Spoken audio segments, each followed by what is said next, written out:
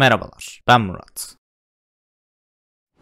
Bugün sizlere tarayıcınızın videosunu nasıl çekebileceğinizi göstereceğim. Burada demek istediğim tamamıyla bambaşka bir şey. Bu yaptığımız şeyle sadece tarayıcımızın sesini alacağız ve tarayıcımızın sesini kendimiz duymak zorunda bile değiliz. Biz Windows'un içinden tarayıcımızın sesini kapatsak bile o kayıt programına bu ses gitmeye devam ediyor. Yani bu sayede arkada işlerinizi yaparken örneğin sevdiğiniz bir yayıncı olur ve onun yayınını kaçırmak istemiyorsunuzdur fakat yapmanız gereken işler de vardır. Bu eklenti sayesinde sevdiğiniz yayıncının yayınını kaydedip istediğiniz gibi sonrasında da izleyebileceksiniz. Şimdi öncelikle bu bir Chrome eklentisi. Bu eklentiyi Opera'ya ve Brave'e de aynı şekilde kurabiliyorsunuz. Ben örneğin şu anda Brave'de kullanıyorum. Görmüş olduğunuz gibi eklentimizin ismi Vimeo Record. Bu eklentinin en özel yanı ilk başta da söylediğim gibi sadece bu tarayıcının sesini alması. Başka hiçbir şeyin sesini almaması. İsterseniz tabii ki de normal video çekiyormuş gibi de yapabiliyorsunuz. Yani webcam'inizi de ekleyebilirsiniz normal bir video çekme programı gibi düşünün. İstediğiniz her şeyi yaparken aynı şekilde bunu da yapabiliyorsunuz. Ayrıca bu program kaydettiğiniz videoları sizin açtığınız hesaba yüklüyor. Bu videoları kimseye göstermede yapabiliyorsunuz aynı şekilde. Şimdi açıklamada vermiş olduğum linke giderek veya internet tarayıcınızın arama kısmına direkt Vimeo Record yazıp aynı şekilde bu Chrome eklentisine ulaşabilirsiniz. Görmüş olduğunuz gibi direkt ulaşabiliyoruz. Bu kısımdan direkt Chrome ekle diyeceksiniz ve uzantıyı ekle diyeceksiniz. Bu kısmı isterseniz atlayabilirsiniz ve uzantı eklendikten sonra size bazı kısımlardan bahsediyor. Artık kaydetmeye hazırsınız diyor. Ve burada görmüş olduğunuz gibi istediğiniz şekilde kaydedebiliyorsunuz. Ben size eğer benim dediğim şekilde kullanacaksanız sadece şuradaki current tab'i tavsiye ediyorum. Yani sadece şu anda sadece bulunmuş olduğunuz sekmeyi kaydeder eğer bu şekilde yaparsınız. Şu kısımları söyleyeyim. Burası ekranınızı kaydeder. Bu kısım kameranızı. Bu kısımda da hem şurada kameranız olur hem de ekranınızın tamamını alırsınız. Full screen dediği ekranınızın tamamını kaydeder. Current tab dediği de sadece bir sekmeyi kaydeder. Bu kısımda bulunmuş olduğunuz sekmenin sesini alıp almamayı belirlersiniz. Bu şekilde yaptığınızda sesi almayacaktır. Buna tekrar bastığınız zaman yine sekmenizin sesi geri gelecektir. Burada kameranızı açıp kapatabilirsiniz. Burada da mikrofonunuzu açıp kapatabilirsiniz. Bastığım zaman görmüş olduğunuz gibi önce izin istiyor. Mikrofonda da aynı şekilde. Ayrıca şu şekilde bir durum da var. Eklentiyi kullanabilmek için Vimeo'ya kayıt olmanız lazım. Onu da rastgele bir maille yapabilirsiniz isterseniz. Burada da hesabınızdaki klasörleri belirliyorsunuz. Yani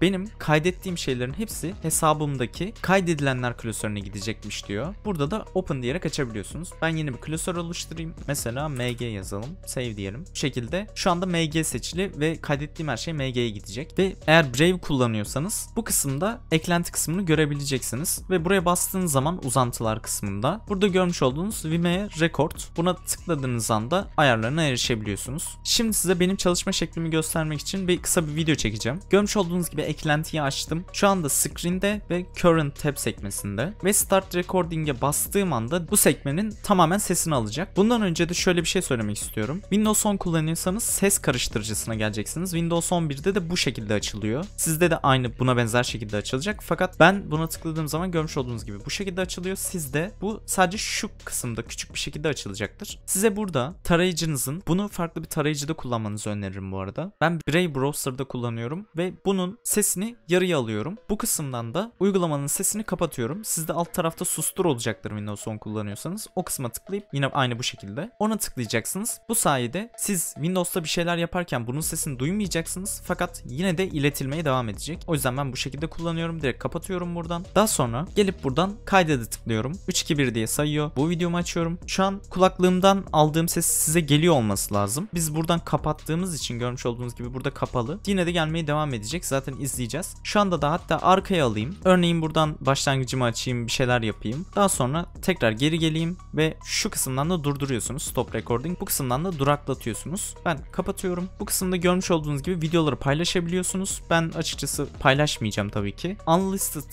yani listelenmemiş olarak paylaşabiliyorsunuz. Herkese paylaşabiliyorsunuz. Veyahut da hiç kimseyle paylaşmayıp özel de yapabiliyorsunuz. Ben özele tıklayacağım ya da liste dışı yapmak daha mantıklı olacak. Yoksa göremeyeceğiz. Liste dışı yapıyorum. Yani liste dışı da şu demek. Bu linke sahip olan herkes görebilir demek. Ben linki kopyalayayım. Bunu da isterseniz buradan direkt indirebiliyorsunuz. Fakat buradan indirdiğiniz zaman web mi şeklinde iniyor. O da iyi değil bana kalırsa. O yüzden size direkt buraya tıklayıp sitesine gitmenizi tavsiye ederim. Görmüş olduğunuz gibi video geldi. Şimdi Brave'in sesini açıyorum. Brave tarayıcımın ve bakıyorum sesi gelmiş mi? Merhabalar. Ben Murat. Görmüş olduğunuz gibi sesi geliyor. Ve şu kısımlarda görmüş olduğunuz biz tarayıcımızdan çıkmıştık. Yani altta almıştık tarayıcımızı. Orada da gelmiş mi diye bakalım. Alacağımız sesin çıkışını nasıl tek bir kaynak görmüş olduğunuz gibi hiçbir sıkıntı olmadan veya sorun olmadan tamamıyla video kaydı alabiliyorsunuz. Sadece söyleyeceğim şöyle bir şey var. Bu birazcık bilgisayarınızın işlemcisini yorabilir. Çünkü sonuçta arkada bir kayıt alıyorsunuz ve ayrıca da aldığınız kayıtlarda böyle minik küçük takılmalar oluyor. FPS düşmesi gibi bir takılma oluyor ve bu videoları çekebilmek için 2 saat limitiniz var. Yani toplamda 2 saat limitiniz tabii ki de yok. Bir video için 2 saat limitiniz var. 2 saatten sonra direkt otomatik video kaydı duruyor. Sonra tekrar açıp tekrar devam edebiliyorsunuz. Herhangi bir kayıt süreniz veya bir sıkıntınız yok. O sebeple gayet iyi. Bu şekilde arka planda olsa dahi istediğim gibi ben arkada işlerimi halledebilirken bu arkada kayıt yapmaya devam ediyor. Bu eğer bir yayını o anda izleyemeyeceksiniz yapacağınız işler varsa fakat daha sonrasında o yayını kaçırmak da istemiyorsanız bu şekilde bir yol izleyerek bunu yapabilirsiniz. Sadece sekmenizin kaydını alır ve ne sizin bilgisayarınızda depolama harcar ne de başka bir sıkıntı çıkartır. İstediğiniz zaman da indirebiliyorsunuz. Bu kısımda şu edit page kısmına tıklayın ve bu edit page kısmından da istediğiniz gibi indirebiliyorsunuz. Bu insanların gördüğü kısım bu arada. Bu 3 noktaya tıklayıp istediğiniz gibi indirebiliyorsunuz. İndirme kısmında MP4 olarak indiriyor. Fakat şunu da söyleyeyim. Windows Media Player bunu oynatmada birazcık sıkıntı yaşıyor. İndirdiğiniz videoları oynatmakta. O yüzden size tavsiyem yapacaksanız VLC Player kullanın. Çünkü her örneğin şuraya bastınız. Her buraya bastığınızda direkt sıfıra atıyor.